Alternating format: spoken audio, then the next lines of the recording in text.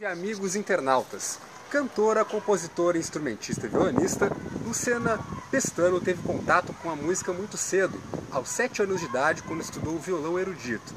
Em 1997, gravou o primeiro disco, contendo composições próprias como Vivente, Cidade Molhada, Tem Que Ter, Letra e Música e Eu e o Garçom, entre muitas outras, além de Vai Embora, canção muito executada nas rádios gaúchas, pela qual recebeu o MTV Music Awards Brasil. Abriu o festival Hackney Concert em Porto Alegre e participou do Brahma Brasil Festival em Scenery Summer, na França. No ano seguinte, em 98, participou do projeto Novo Canto, da rádio JBFM. No ano seguinte, 99, seu CD, lançado inicialmente pela gravadora Acit, foi relançado em âmbito nacional pela Polygram.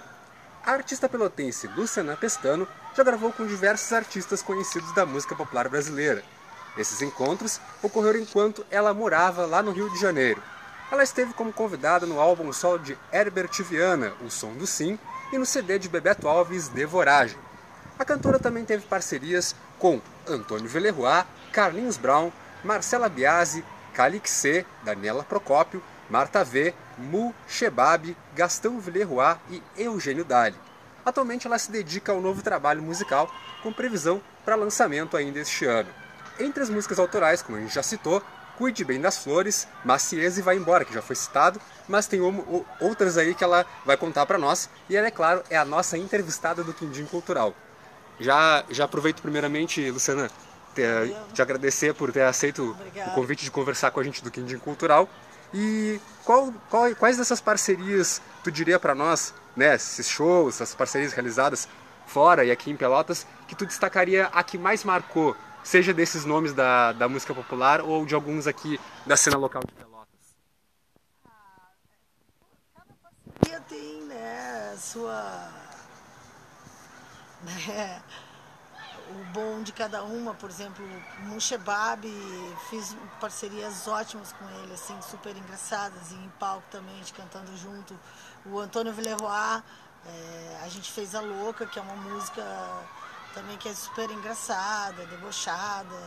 É, enfim, agora para o próximo trabalho tenho uma parceria com o Carlinhos Brown. Pô, que legal, é, né? De uma, uma letra, uma música que a gente fez junto. Uh, enfim, todas são boas, assim. Sim, né? todas te acrescentaram de alguma maneira, assim. Ah, sim, sempre, porque e a coisa de também fazer parceria, né, de composição, ela te abre outras janelas, assim, porque o cara compõe diferente de você. Então você aprende a ver a composição de uma outra maneira, ver ela nascendo de uma outra maneira, outra pessoa. nasce de você de outra maneira quando tá com outra pessoa, né? Sim, então sim. É bem interessante. E, e, na, e na tua volta aqui para Pelotas, quais lugares que tu te apresentaste que foi lá, foi para ti assim o mais receptivo, que o público respondeu de melhor maneira, assim, que tu sentiu a resposta foi positiva mesmo, foi calorosa?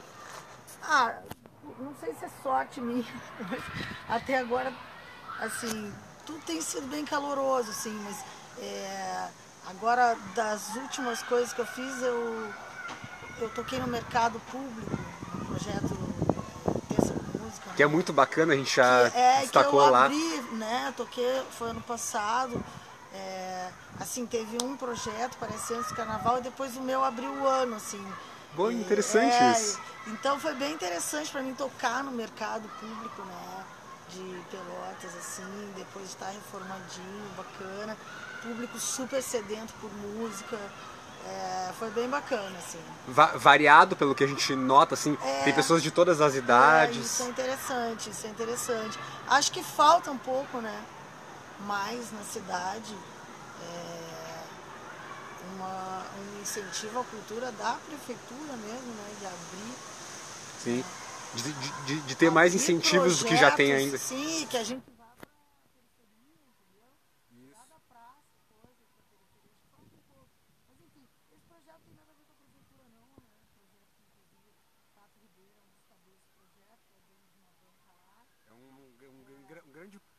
produtor e agitador cultural, Isso, né? Isso, grande amigo meu, né? A gente fez teatro junto quando era adolescente. Então, muito bom foi tocar lá. E assim, até agora todos os lugares que eu toquei aqui têm sido maravilhosos. Assim, o público pelotense realmente está muito receptivo. Sim, e como é que foi te apresentar uh, para assim, fazer com que as pessoas conhecessem mais o teu trabalho no evento Casa Tomada, realizado pelos colegas aqui da Maria Bonita Comunicação, que já aproveito para agradecer o pessoal aqui da Maria Bonita por ceder o espaço para nós conversarmos um pouco, né? É, Como é que foi tocar no, evento Casa Tomada aqui na Maria Bonita? Ah, foi maravilhoso. É, a gente está aqui na Maria Bonita, que é, tá abrindo esse espaço para gente, é, gentilmente, calorosamente. Então, obrigada.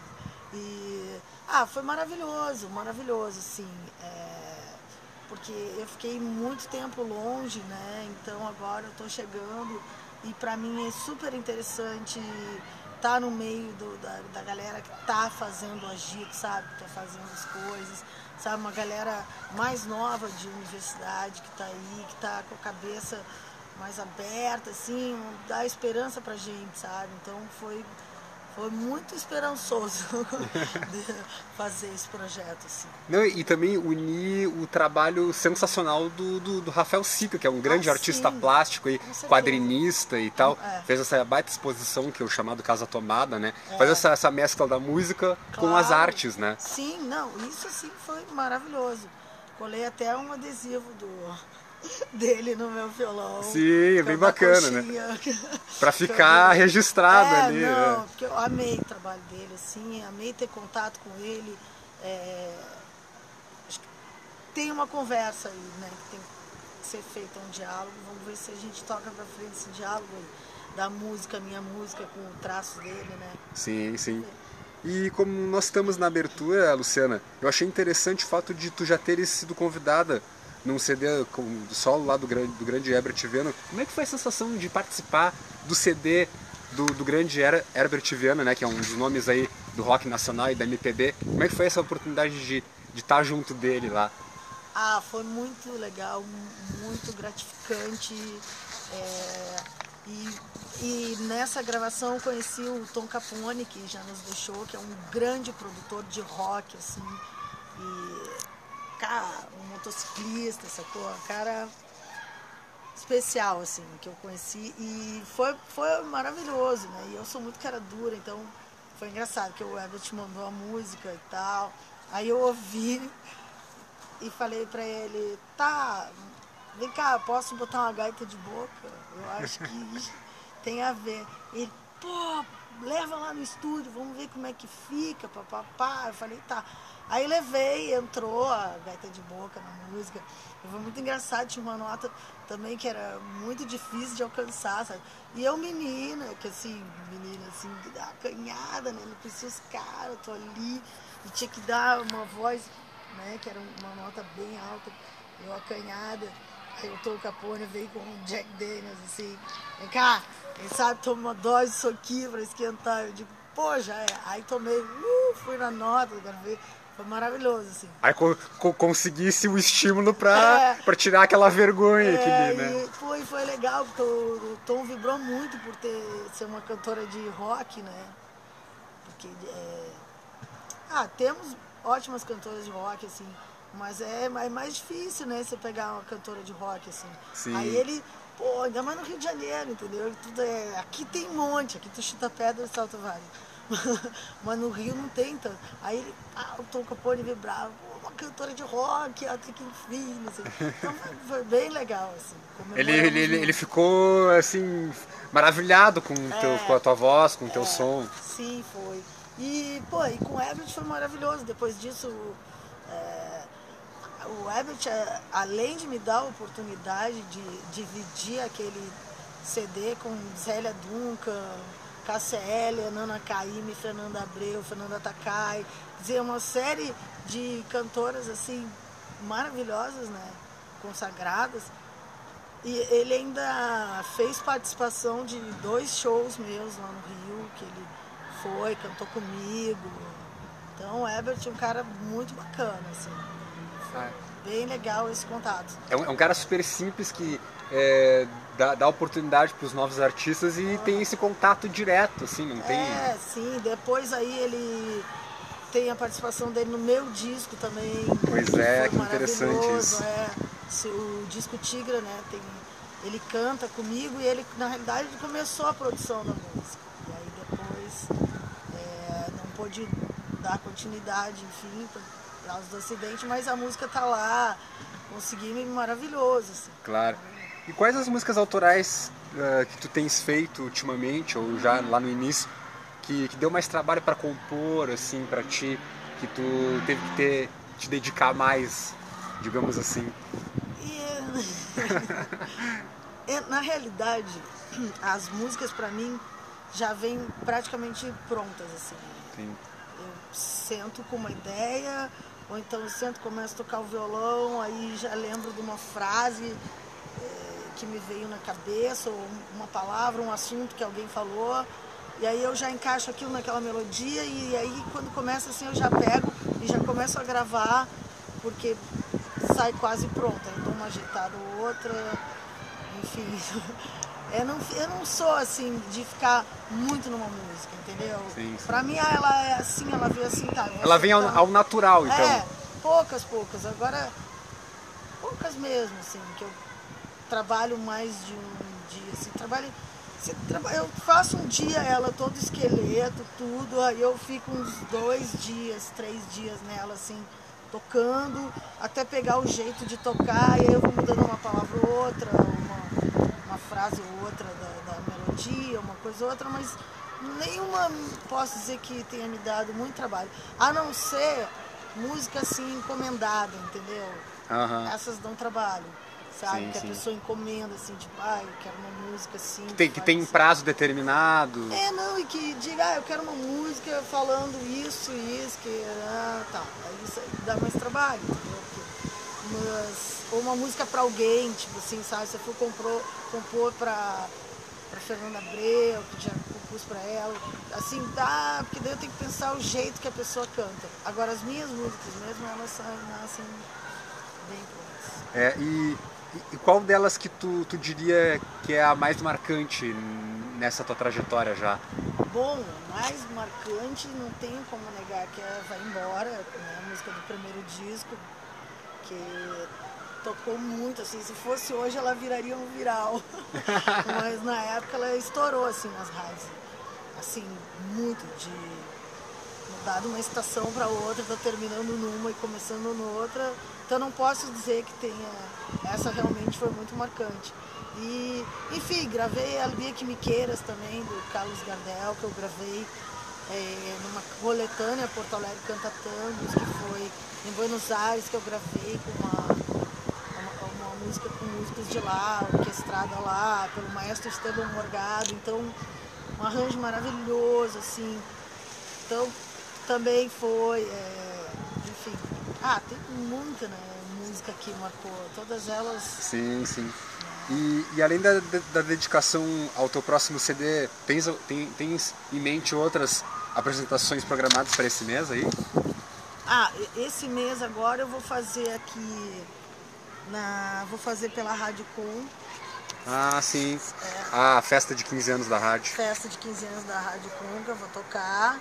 E aí depois eu vou eu vou para São Paulo, aí não vou tocar aqui porque eu vou fazer uns trabalhos lá, mas é mais é de gravação e compor com uns amigos paulistas. Vou lá dar uma trabalhadinha e aí volto, mas aí já volto no final do mês. Sim, sim. E tu, e tu pensas em, em, em por acaso voltar a te apresentar em algum outro local aqui, seja lá no, nesses projetos abertos, terça com música, outros assim? Ah, sim, sim. A ideia é estar tá sempre em movimento, né? sempre tocando. Então agora assim que eu voltar, até tô armando aqui com o pessoal da Maria Bonita, não, não falei ainda com eles, mas tem coisas já que estão sendo marcadas para julho. Ah, que legal. É, só que como eu só vou reunir com eles depois da entrevista, não sei precisar. Mas em julho eu vou estar tá tocando aí e a gente pretende também estar tá lançando uma plataforma para arrecadar é, para o terceiro disco, né? Sim, um financiamento coletivo. É, um financiamento coletivo, porque chegamos nessa fase que o disco está quase pronto. É, já estou um tempinho gravando esse disco, inclusive, eu paro, volto, paro, volto, é. mas ele está quase pronto. Como é o nome dele? Tem nome já? É definido? Então, eu ia mudar, agora eu já vi que eu não posso mudar, porque eu já estou com as autorizações, Sim. mas eu gosto do nome, é o Olhar do de Fora. Legal, bacana. É. Gostei também. É o Olhar do de Fora. Eu acho interessante é a coisa de eu... E tem a ver com a coisa também de eu estar tá voltando, né? Eu estive fora daqui Sim. muito tempo, então tem a coisa de eu estar tá voltando, então não deixo de voltar com o olhar de, de fora. Sim. É, e quando eu fui embora também, quando eu cheguei onde eu estava, também cheguei com o olhar de fora. Então, na realidade, a gente que é, viaja muito, que trabalha muito, indo até as pessoas, é, a gente tem muito o olhar de fora Claro, sempre. é, é. Então, tu sai tu já com uma outra, uma outra cabeça, uma é. outra, até na questão profissional com outras perspectivas, um outro olhar, uma outra, é. uma, uma, acredito que uma outra forma de se comportar é. no palco. Isso, então vai ficar esse nome do disco, Olhado de Fora, é, que eu já tô assim, já tem ah, já tem assim um tempo que eu tô na batalha de fazer esse disco aí, agora lancei um single dele que chama Pelo Engarrafamento, que é uma música do Otto que eu gravei. É, que enfim, tem a benção do Otto, ficou bem legal, ele gostou bastante. E, então essa música tá rolando, quem quiser ouvir, Pelo Engarrafamento, é só clicar ali no YouTube. É, pelo engarrafamento vai vir a minha ou a do Otto, e se ouve a minha, ouve a do Otto. Ou então clica Luciana Pestano, entra lá no meu canal do YouTube. A gente tem postado agora bastante vídeo é, com música do primeiro disco, do segundo disco. De vez em quando eu largo tipo essa pelo engarrafamento que é do disco novo. E a ideia também nesse canal é daqui a pouco começar a colocar umas coisas mais íntimas de composição, tipo vídeo que eu tipo fiz a música Sim. agora e pum, vou postar. O, o, o, passo, a pa, o passo a passo da composição. É, é tipo assim, inédito, tá? Ó, acabei de fazer, tô com ideias de fazer isso, ainda tô em estudo, mas tô com ideia de fazer isso. E pra gente encerrar o nosso papo, Luciana, tu poderias dar, dar uma palhinha de alguma da, da, das músicas já consagradas, vai, ou Vai Embora ou A Tem Que Ter, qual uma das duas? Pode ser a Vai Embora, que tu já citou com bastante, bastante ênfase, né? Ah, cantando? Isto. Uh, você vem me falar de amor e diz que quer saber quem sou. Sou um ser com um sentimento morto. Um dia eu amo, outro dia eu causo muita dor. Cuidado, meu amor, cuidado, meu amor. Na hora da dor, você vai saber quem sou. Vai embora agora, vai embora agora. Se amanhã você ainda quiser ser meu amor. Maravilha, Luciana. Muito obrigado. E depois dessa palhinha, a gente encerra por aqui a nossa, nossa, nossa entrevista. Obrigado mais uma vez. Obrigadão pelo espaço. Valeu, galera. Dá certo, então. Forte abraço, pessoal. E até mais entrevistas aqui no nosso Quindim Cultural.